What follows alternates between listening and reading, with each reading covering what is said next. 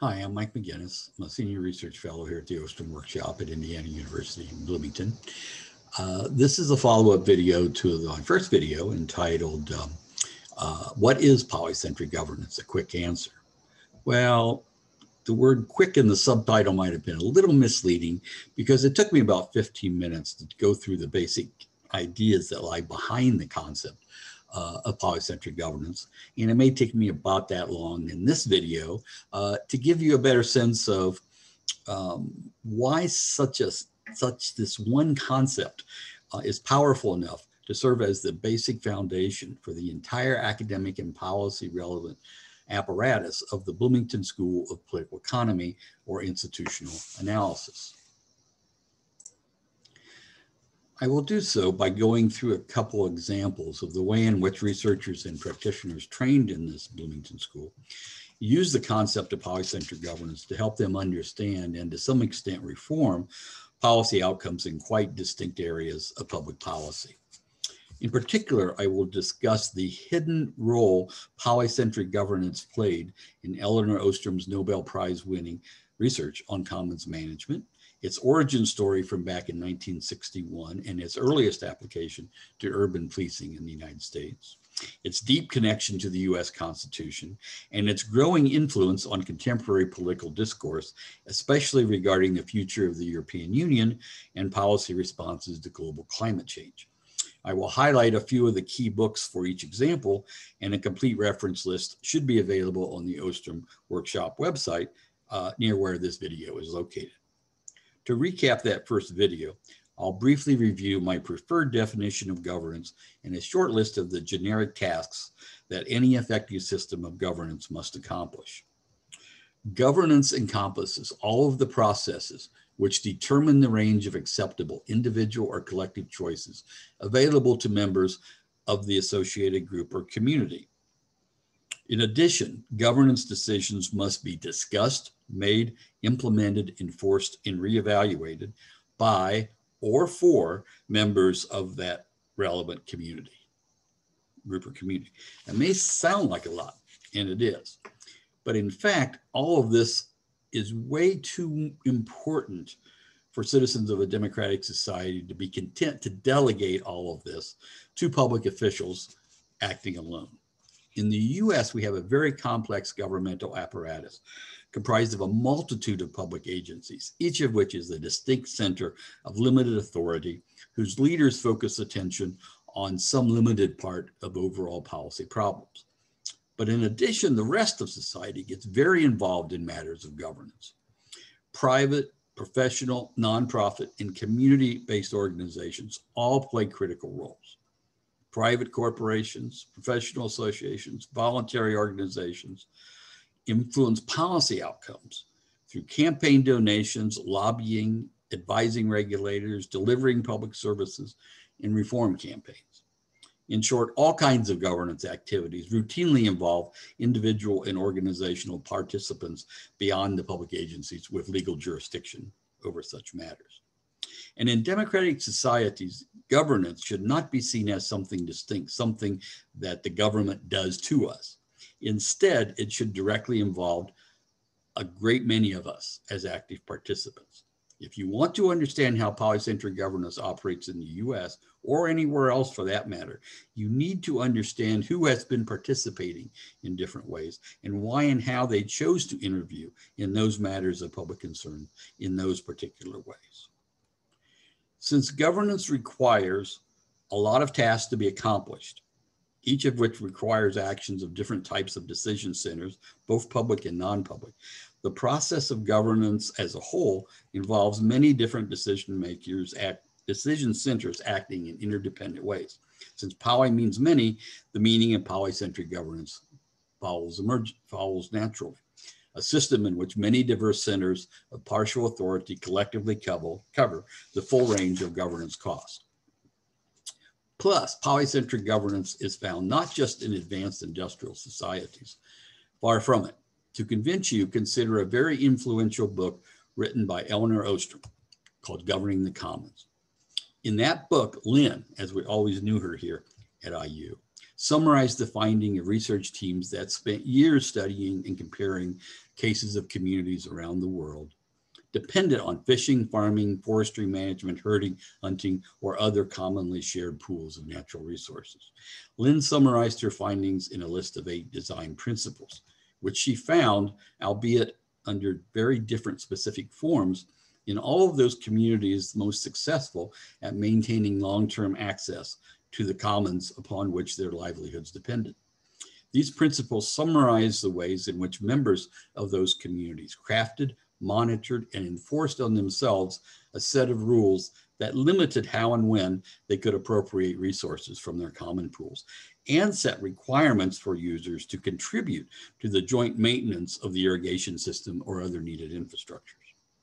Now, Lynn explicitly mentioned governance only with respect to the last two principles marked in IU red on this slide, which required that all of these locally based arrangements needed to be nested within a supportive system of polycentric governance that ensured the user group's right to manage those resources in ways that they deemed appropriate.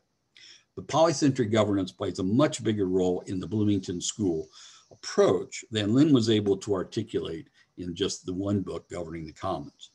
As many of you already know, Lynn shared the 2009 Nobel Memorial Prize in Economic Sciences quote, for her analysis of economic governance, especially the commons, uh, as the Nobel Committee summarized her prizeworthy contributions to scholarly knowledge.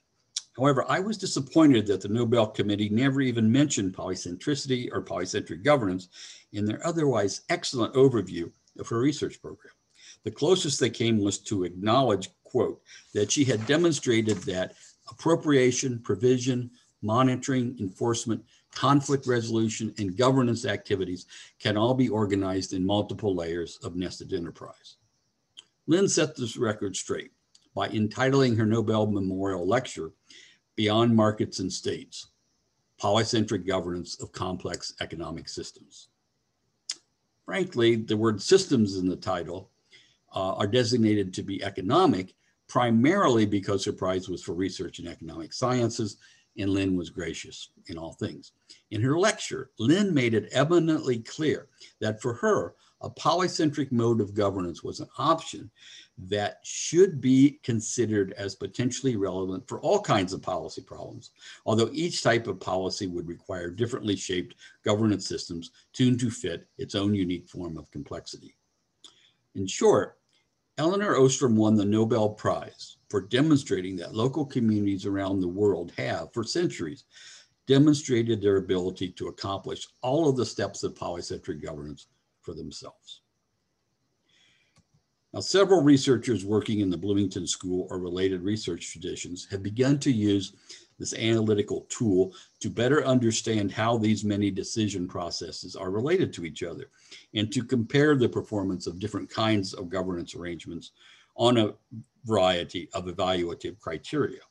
In another of these videos, I will dig more deeply into the question of which of the many combinations of structural configurations, institutional options, outcome distributions, feedbacks, and evaluative processes are best suited to the smooth operation of a system of polycentric governance in the sense of generating policy outcomes that citizens deem to be desirable and appropriate. That remains very much a work in progress. And anyways, I'm getting far too ahead of my story here. So let's return to the beginning to consider when this powerful governance concept first appeared in print. In 1961, over 10 years before the Ostrom workshop was first established, and several years before Vincent and Elinor Ostrom actually moved to Indiana University, Vincent Ostrom, Charles Tiebout, and Robert Warren introduced the concept of a polycentric political system in an article in the American Political Science Review. Although revered by workshoppers as the initial core statement of the Bloomington School's principles, OTW 1961, as we tend to call it, uh, frankly did not have much an effect on the policy literature of that day.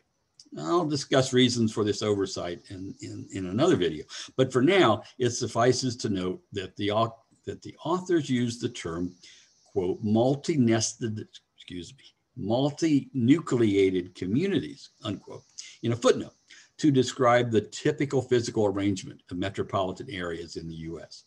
Although this uncomfortable phrase has been thoroughly ignored in the subsequent literature, I have chosen to resurrect it here today in order to highlight the inherently nested structure of polycentric governance.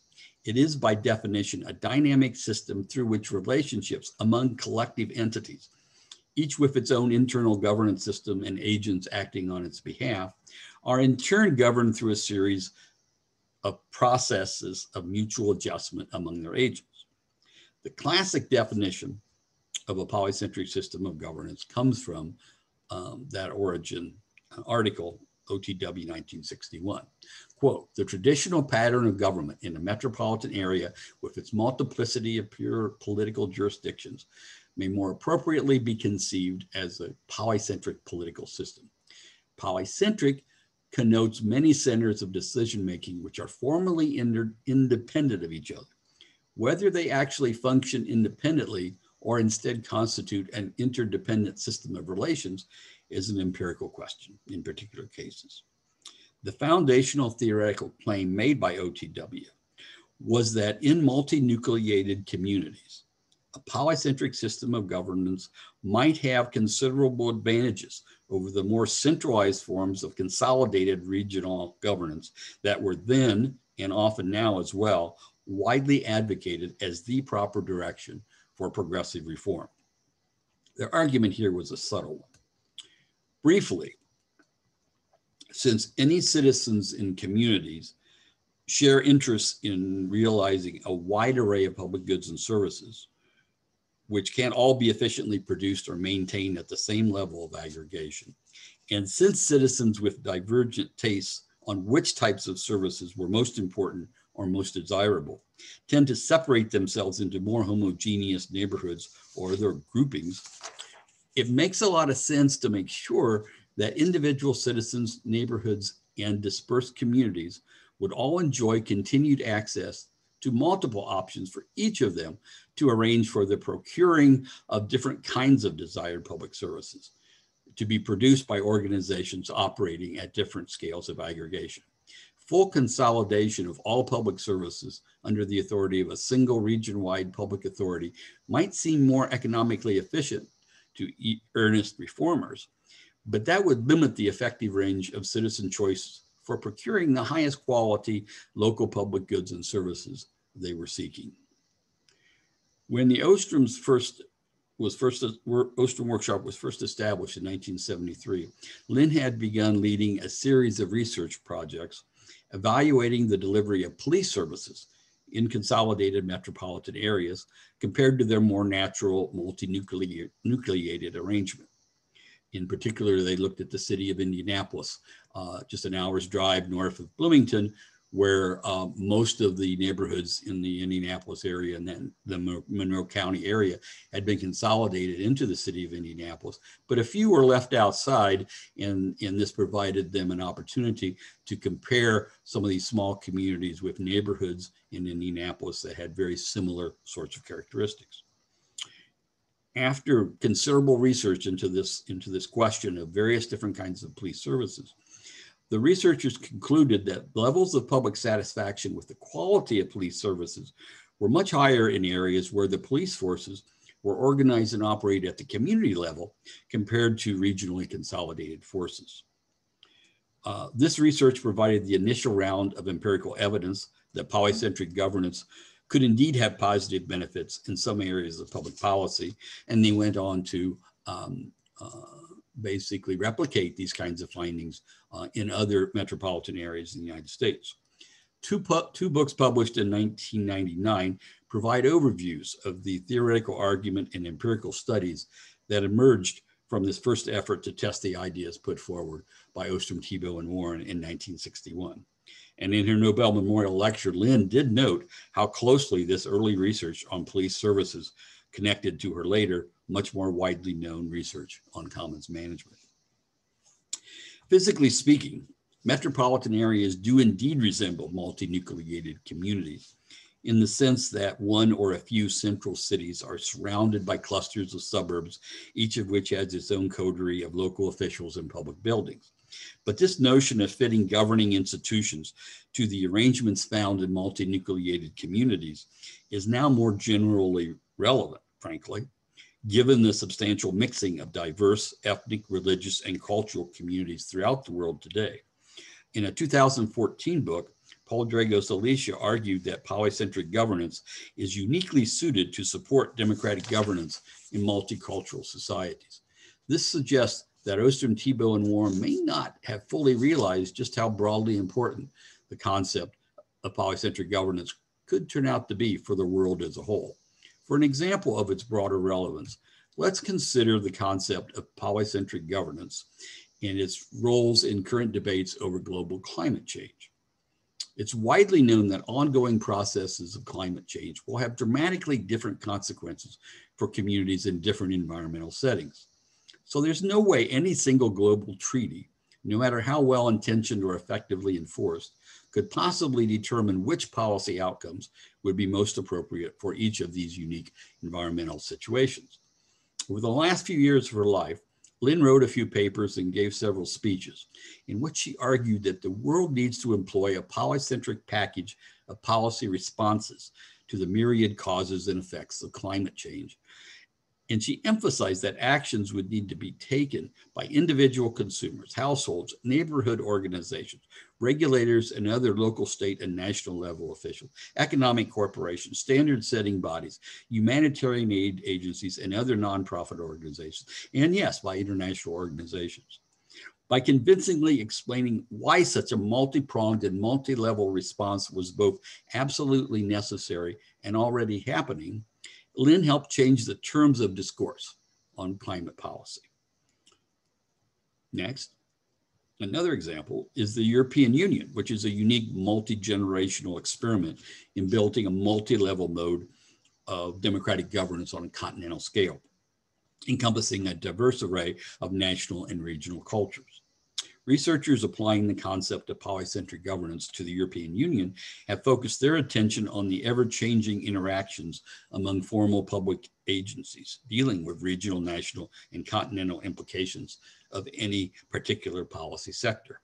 Contributors to this particular volume also specifically examined the extent to which the EU project in building polycentric governance has or has not been able to address longstanding concerns related to equity and social justice.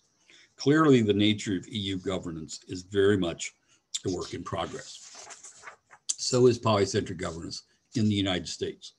Years ago, Vincent Ostrom used the US Constitution as the stellar example of polycentric governance, serving as the basic principle in constitutional design.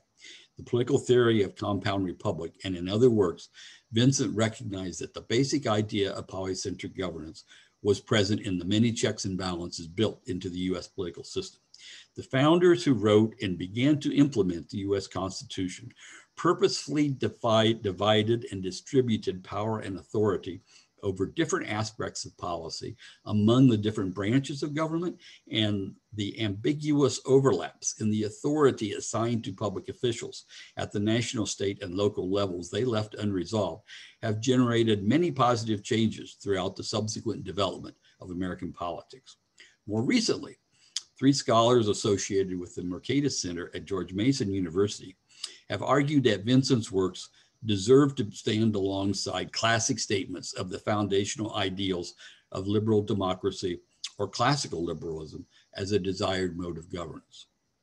I'd like to highlight two books written 20 years apart that provide very different takes on the critical question of the ability of public entrepreneurs, a category of political actors that includes public officials, community organizers, leaders of social movements or reformers, and social workers who help potential benef beneficiaries navigate the often substantial administrative barriers preventing them from taking full advantage of public welfare programs. Public entrepreneurs of these types played critical roles in the PhD dissertations written by both Vincent and Elinor Ostrom in the 1950s and 1960s, respectively. But since then, this topic has rarely been examined in detail with a few notable exceptions. In 1997, Vincent Ostrom published a book which raised significant concerns about the dangers of public entrepreneurs deluding themselves by using words and ideologies in ways that distort the true nature of the problems they are actually confronting. Vincent was very concerned that Tocqueville may have been correct in his concern about the long term viability of democracy. In 2019, Paul Dragos Aligica updated the theoretical and empirical findings on the ability of public entrepreneurs to provide solid, solid civic minded leadership to their communities and gave us some hope for arriving at more optimistic conclusions. Of course, this question very, remains very much an open one, given our recent collective experiences with the global rise of authoritarian alternatives to democratic self governance. But that's a whole other story. Now, I could go on indefinitely mentioning topics covered in other videos or other books, fine books written by scholars associated with the Bloomington School, but my time for this particular video has run out. To wrap up, polycentric governance has recently become a bit of a hot topic, especially among activists supporting Lynn's suggestion that we need to employ a polycentric package of diverse and multi-level policy responses to the causes and effects of global climate change, and a small but growing community of social scientists seeking to rigorously compare the consequences of alternative forms of govern governance arrangements on a wide range of policy outcomes. But this flurry of activity now is just the tip of the iceberg, so to speak, since this concept already has a long history of theoretical development and empirical research and it is likely to continue to inspire and inform many future elaborations and innovations. If my talk has piqued your interest in learning more, I encourage you to check out, check out my other videos, and especially those my colleagues posted on the instructional resources page of the Ostrom Workshop website. As I noted earlier, a detailed list of references to these different examples of polycentric governance in action should also be available there. There's a lot of interesting information available on that website, and I hope you will enjoy your exploration of polycentric governance as it is understood within the Bloomington School of Political Economy or of Institutional Analysis. Thank you.